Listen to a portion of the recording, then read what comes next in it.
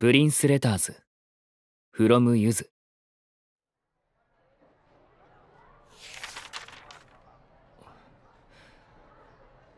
ゆずはあの柚木原徳蔵の孫だったのか？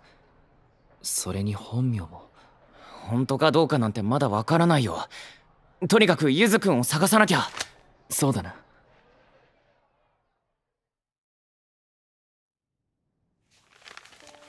元人気子役のゆずは大手プロダクション柚木原プロの会長柚木原徳蔵の孫。本名は柚木原徳馬母親が死んでも泣かない子供時代。すごい見出し。柚木原徳蔵氏は時若学園に多額の寄付金を納め今回のゆずのアイドルデビューや主演舞台にも裏で手を回したのではないか。だって。バカみたい。やっぱり僕には何にもなかったんだ。どうしよう。徳間じゃ王子様になれないのに。ゆずくんやはりここにいたのか。旧校舎のボロいレッスン室くらいしか静かな場所はなさそうだしどう？みんな僕の噂話してた？うん。ゆずくんは人気者だから。こういうのって事前に知らされるって聞いてたんだけどな。完全にサプライズじゃん。デビュー前にスキャンダルとか最悪。一体誰が？これに書いてあったでしょ？学園を辞めた元メンバーだよ。僕が時若に入学して初めて組んだユニットの。ゆずは裏表が激しく性格が最悪。メンバーに対しても威張り散らしている。か。僕のデビューが面白くなくて引きずり下ろそうとしたんだと思う。ひどい。いや正確に難があるのは事実だろデタラメだよ。その頃は入学したてで猫かぶりまくっておとなしくしてたし。奇跡的に嘘が誠だったというわけか。しんくん。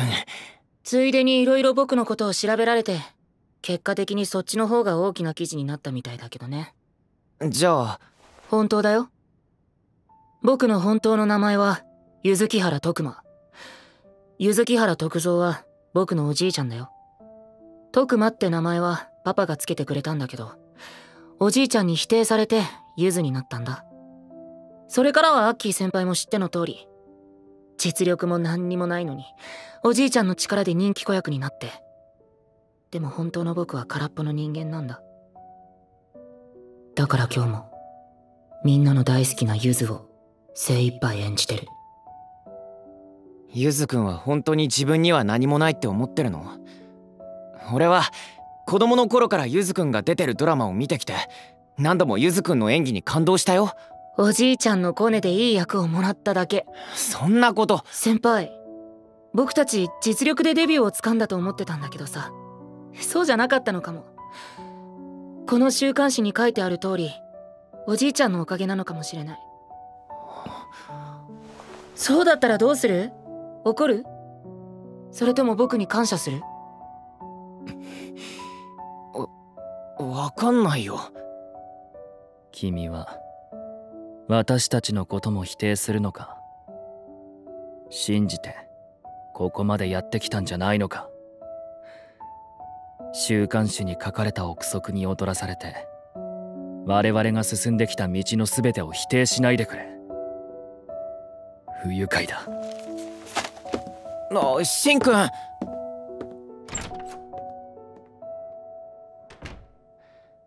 ゆずくん悪いけど今は一人にして。